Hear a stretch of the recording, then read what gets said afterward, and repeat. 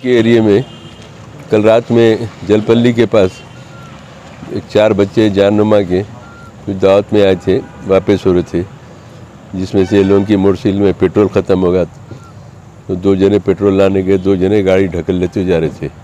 Police की गाड़ी आई एकदम, उतरती ये लोगों को मारपीट शुरू कर दी। न सिर्फ़ मारपीट की, बल्कि गाली गलौज भी करती।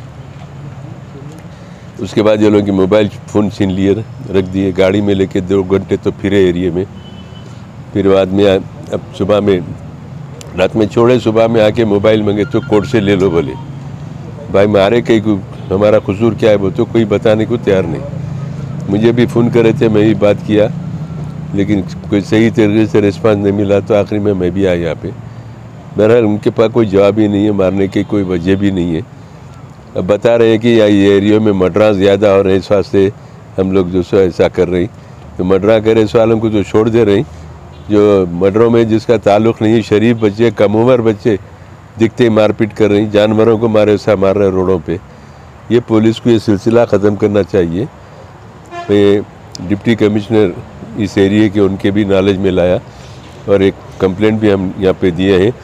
वो एक एस आई है कोई, वो पांडु बोल के उनकी निगरानी में ये सब जो है मारपीट करे उन्होंने भी करे। तो इस पर एक्शन लेके उनको फौरी यहाँ से बर्खास्त करने का डिमांड किया हमें। सख्त कार्रवाई करना चाहिए। वरना बच्चों को मारने का कोई जवाब ही नहीं है, कोई कसूर ही नहीं है, कोई केस भी नहीं है, कुछ नहीं। तो अब रातों को ऐसा होता है हर पुलिस का जवान अपने आप को कमिश्नर समझा हुआ रहता। कोई देखने वाला, पूछने वाला नहीं है, उन्हें बस जो जी में आया करता। जब सुबह हुई बात से सबको इत्तला मिलती है तो उस वक्त भागता है, मुँह छुपा के फिर फिरते रहता है।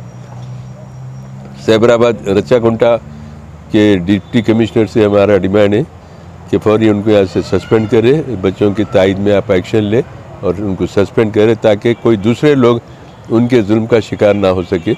और तमाम पुलिस वालों को ये मैसेज दीजिए कि इंसानियत की बुनियाद पे काम करे, तासुब की बुनियाद पे काम नहीं करना चाहिए। जो भी यहाँ के शहरी हैं, उनकी हिफाजत करना, उनसे अच्छे अखलाक से पेश आना। गालियाँ तो इतने गालियाँ दिए हैं, बच्चे बता रहे थे कि गालियों की डिक्शनरी है उनके पास। वैसे ऐसे ऑफिसर को यहाँ पहाड़ी शरीफ के पुलिस स्टेशन में रहने का कोई हक नहीं है, उनको फौरी बर्खास्त करना चाहिए। और इस इलाके के तमाम मजलिस के वर्कर भी हमारे साथ आए हैं इलाके पे। और यहाँ कंप्लेंट दे के हम जा रहे हैं। चौबीस घंटे का टाइम दिए चौबीस घंटे में अगर ये लोग एक्शन लेंगे तो ठीक है। नहीं तो फिर हमको भी क्या करना है? हम सदर मजलिस से इजाज़त लेके काम करेंगे। शुक्रिया। आपके बेटे को अगर कोई करा तो अच्छी बढ़ते आप? पुलिस वाले मालूम भी। और एक एक बार छोटा इधर उधर से करके लाके दे रही। है आप लोग पुलिस वाले इधर तो कभी भी रैश में रह रहता कभी भी नहीं रहता। तो आप अच्छा, आदमी की पूरा है। मदद देते। अब सर हमको कॉपरेट करो तो क्या करना माफ़ कर देना। माफ़ करने माफ़ करने का हम लोग जूते खाएँगे जान दो सॉरी बोल के चले जाते